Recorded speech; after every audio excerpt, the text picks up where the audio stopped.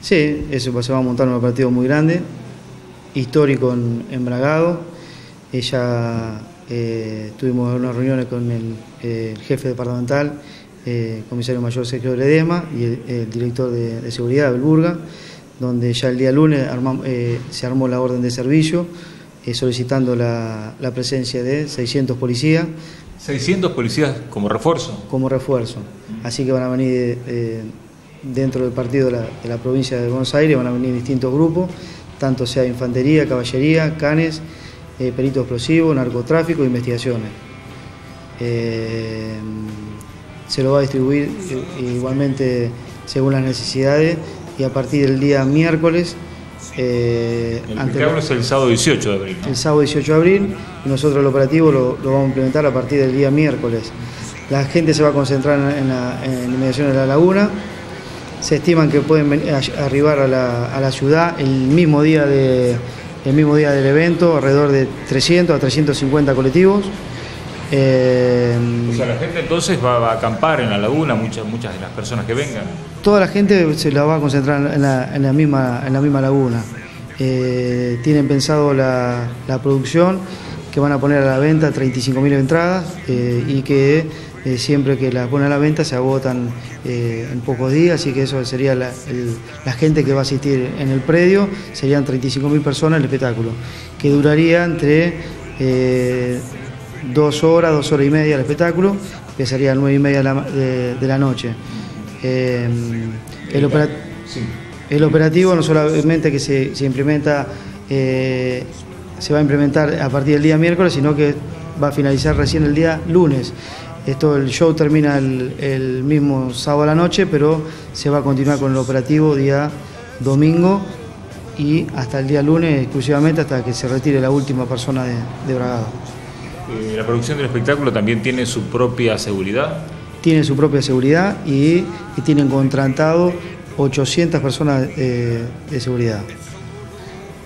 Sea que va a ser realmente un gran operativo. Un operativo grande con eh, más, de mil, más de mil personas. Eh, dispuestas y, seguridad. Digamos, ¿y quién paga en cuanto a las fuerzas públicas que se van a movilizar? Eso va a ser un pago de servicio adicional, eh, polar, adicional, lo van a pagar la, la misma, la, misma la misma productora.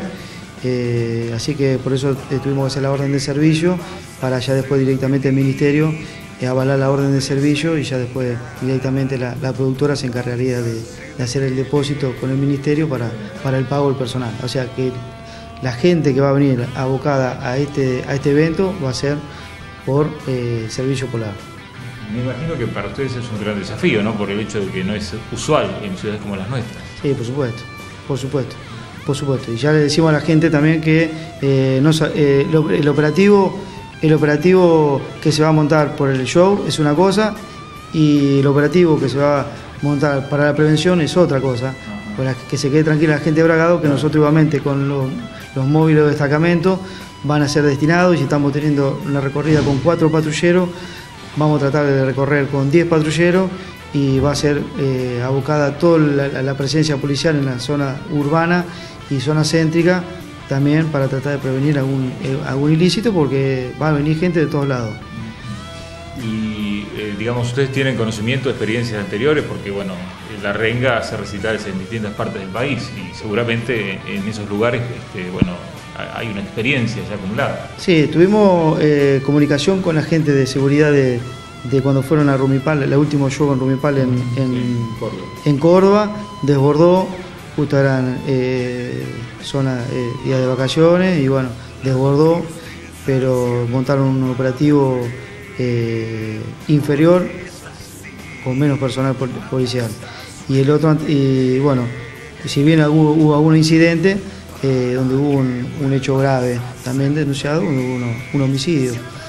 El, el, último recital que se hizo en la zona de acá fue en Navarro, que hace alrededor de dos años se hizo, y se montó un operativo con alrededor de 100 efectivos.